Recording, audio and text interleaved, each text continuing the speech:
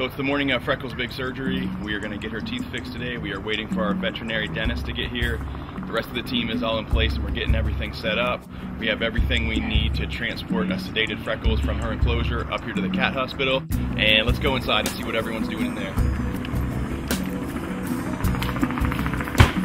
So we got our table set up here, getting all of our IV stuff ready. You can imagine a cat that big is going to need lots of fluids and lots of IV pumping the whole time. Go a little further in this way. We got our surgical light, got our anesthesia machine, everything's ready. We're getting all of our sedation drugs and everything we'll need to keep Freckles safely out while we work on her teeth. And now we're just waiting for the dentist and we'll go sedate Freckles and hopefully it will be quick and painless and she'll be feeling a lot better.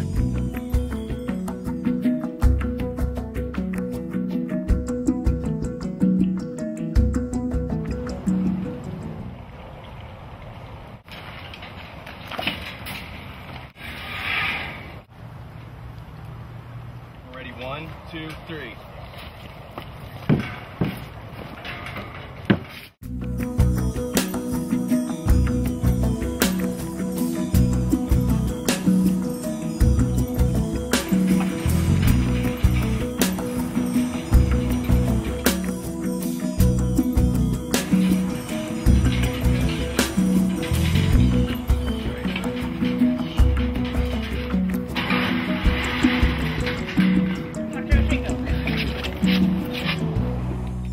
Good so far? on the bottom We got we got her sedated, We got her transported up here to the hospital. Everything's good. She's on the table. Weighs well over 400 pounds, which is um, a big girl. So we'll all be uh, visiting the chiropractor tomorrow, but she's on the table. It's all good.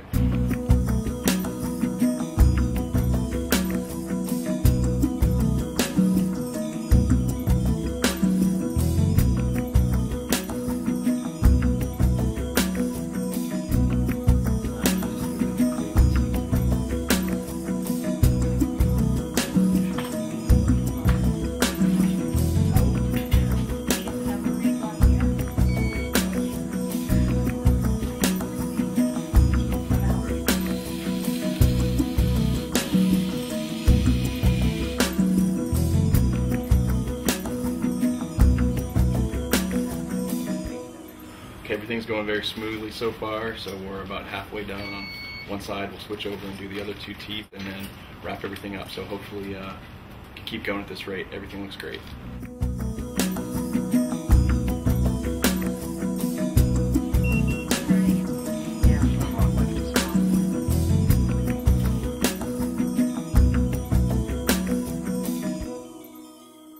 Right, so we're all done with the dental work on Freckles. She's resting in the transport cage. We'll let her recover here at least the rest of the afternoon. It's pretty hot outside. So once she uh, is completely awake, we'll take her back into her own enclosure, and she'll be there before feeding time tonight. Although with all that teeth work, I don't think she's going to want to eat for a while.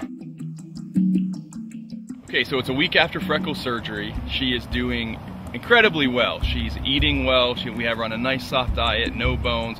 So she's eating beautiful filet chicken breast. She's eating sliced beef.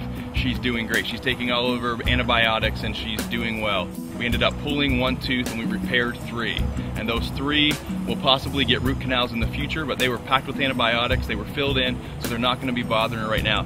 So you can see her back there. She's resting peacefully. Her demeanor has already started to change a little bit. She's uh, starting to be a little bit more friendly. She's definitely forgiven us all for for sedating her and dragging her up there and, and pulling out that tooth. She's kind of back to herself and um, even a little friendlier than before. So hopefully that uh, tooth surgery really helped her out. She's feeling a lot better and take a look for yourself. She's doing great.